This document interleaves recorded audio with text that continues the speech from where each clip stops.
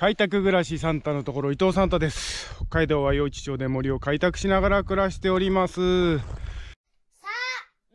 たのところサンタのとこ伊藤サンタです3日ぐらい前に啓蟄に入ったサンタのところ。啓蟄らしいなって感じるのは片雪？こうズボッと埋まんないでこう雪の上をね歩いていけるのはねあのいつもズボズボズボってスノーシュー履かなくても雪の上をこう埋まらないで歩けるっていうのは、えー、こう啓蟄らしいなと。この時期になるとこう楓が樹液を出したりこう春だなと。こう日中ね温度が上がって雪が溶けて夜気温が下がってこう固まってるんで朝のうちだとこういう風に雪の上を埋まらないで歩ける。ちょっと。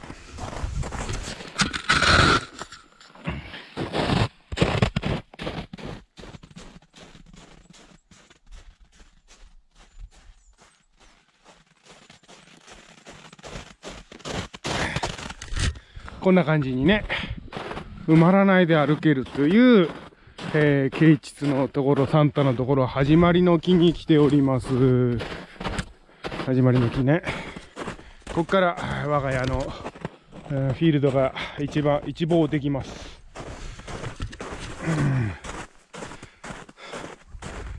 うん、えー、っと、で、まあ、だからだいぶ雪が溶けてきたよっていう話で、駐車場なんかね、もう、あれですよ。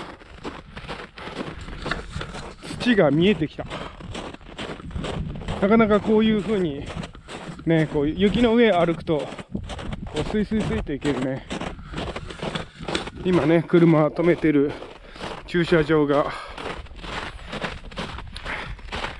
見えてまいりました。こっちはね、雪の山だね。よいしょ。まあやっぱ太陽上がってきたからちょっと時々ズボって埋まるね。よいしょ。よいしょ。よいしょ。よいしょ車置いてるとこ土が見えてきた。春が近いね、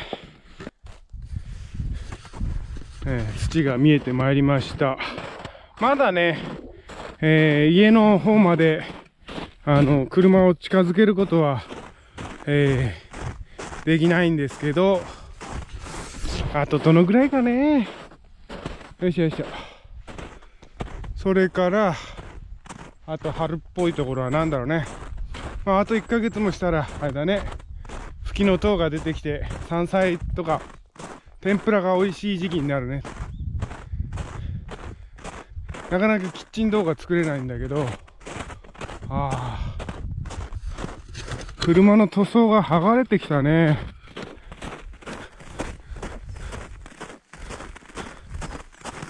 あ、剥がれてきて錆びてきたね。上もちょっとへこんじゃったね。こう、物置板もどうしていくかね。ちょっと考えなきゃいけないかもね。なかなか今年は屋根の雪が落ちないっていうのが、なんでだろうね。例年ならもっとね、落ちてると思うんだけどな。一回も落ちなかったね。落ちてないね。なんか何回かに分けてさ、うん、そんなにたまらないんだけど、このザクッザクって音がいいね。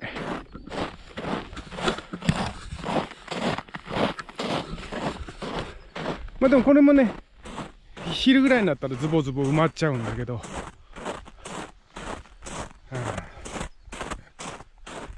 歩けるから、ブルーベリーの畑の方まで行ってみようか。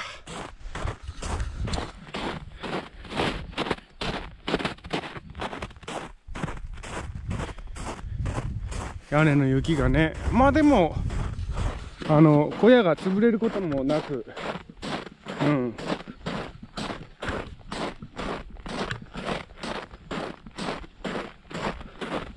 さあ、消化樹畑の方に来ましたよ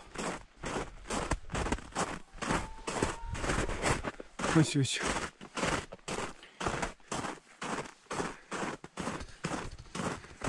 しよし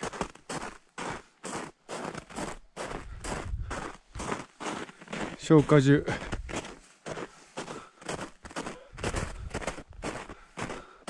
あああそこが壊れてきたね。去年こう急いでやったからね。よしよし。あとは何かな。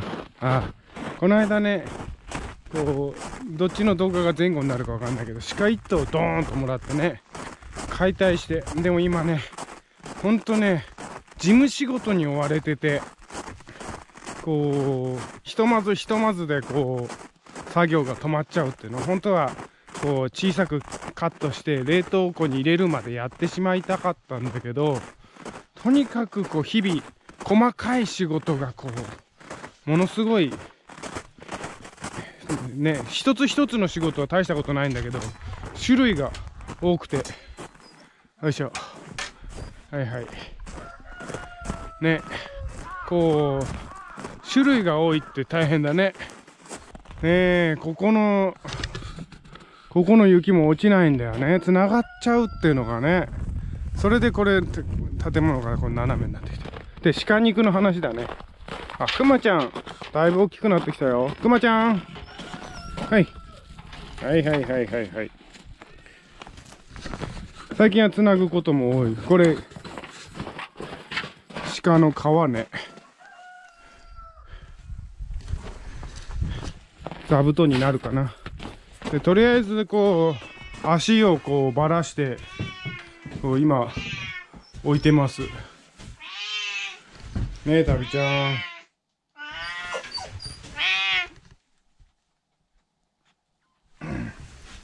鹿肉ね。これ早くばらしてしまいたいんだけどえー、もうちょっと時間がかかるかな。うん。でえー、あれだけじゃなくてねいろいろ、えー、今こう鳥の餌としてねこうちょっと煮てからやろうかなと。で浮いた油でろうそく作るみたいなね、えー、ことをやったりしてるかな。うん。そんな啓蟄のサンタのところ。もうなんか今いろいろテンパってて樹液活動とかが全然できてないね。し枝切りも進まないしね。まあとにかくこう仕事の数を減らすとかあここもこれねちょっと痛い感じだね。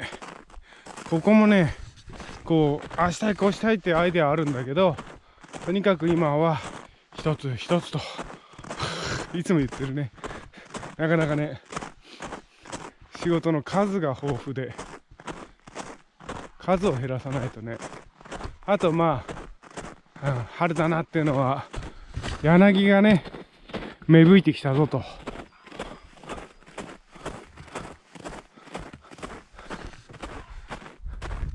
ね。